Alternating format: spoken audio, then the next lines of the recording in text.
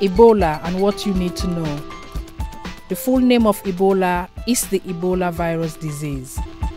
It attacks the mucous membranes of infected people. First symptoms include fever, muscle pain, headaches, and a sore throat.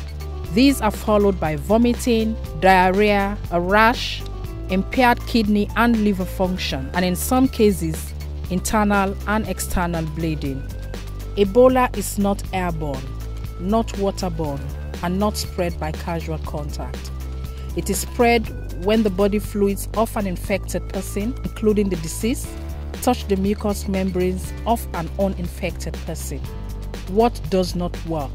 Drinking salt water. This is dangerous, especially in hot climates. Chewing large amounts of cola nuts.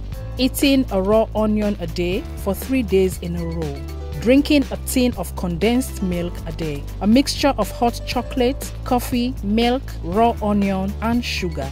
Here are some preventions. Washing hands often with soap or bleach. You don't need expensive hand sanitizers. Avoiding bush meat and bats. Cooking all food products thoroughly.